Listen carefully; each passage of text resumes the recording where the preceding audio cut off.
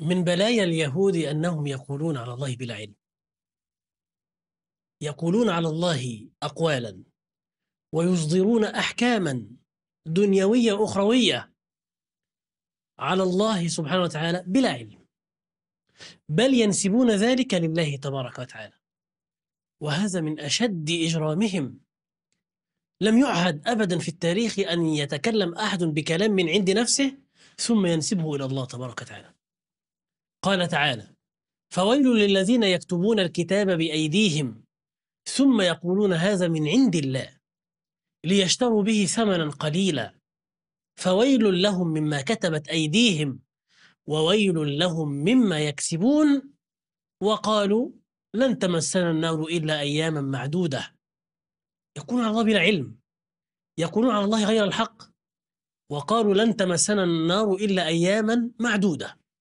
أربعين يوم فقط التي عبدنا فيها العجل فقط سنعذب فيها. غير كده سندخل الجنة.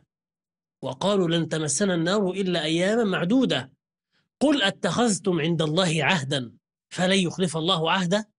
أم تقولون على الله ما لا تعلمون؟ بلى من كسب سيئة وأحاطت به خطيئته. فأولئك أصحاب النار هم فيها خالدون. الذي يكسب السيئات ويحيط به شركه بالله تبارك وتعالى. أولئك أصحاب النار هم فيها خالدون. والذين آمنوا وعملوا الصالحات أولئك أصحاب الجنة هم فيها خالدون.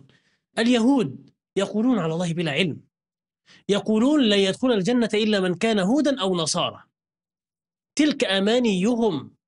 قل هاتوا برهانكم إن كنتم صادقين. بلى من أسلم وجهه لله وهو محسن. فله أجره عند ربه ولا خوف عليهم ولا هم يحزنون.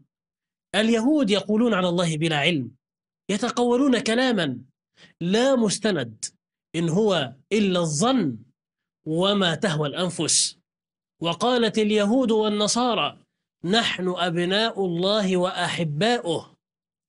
قل فلم يعذبكم بذنوبكم؟ بل أنتم بشر ممن خلق. يغفر لمن يشاء ويعذب من يشاء. ولله ملك السماوات والأرض وما بينهما وإليه المصير.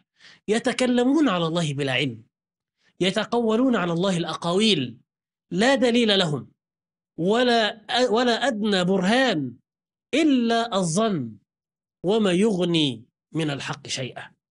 قال تعالى ألم تر إلى الذين أوتوا نصيبا من الكتاب يدعون إلى كتاب الله ليحكم بينهم ثم يتولى فريق منهم وهم معرضون؟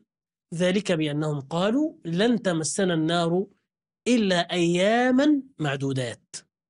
وغرهم في دينهم ما كانوا يفترون. افتراء على الله تبارك وتعالى وكذب. وتقول على الله بلا علم. نسأل الله تبارك وتعالى أن يهلك اليهود. ونسأل الله سبحانه وتعالى أن يجنبنا طرائقهم. وألا يؤاخذنا بما فعل السفهاء منا. ونسأله أن ينصر الإسلام والمسلمين.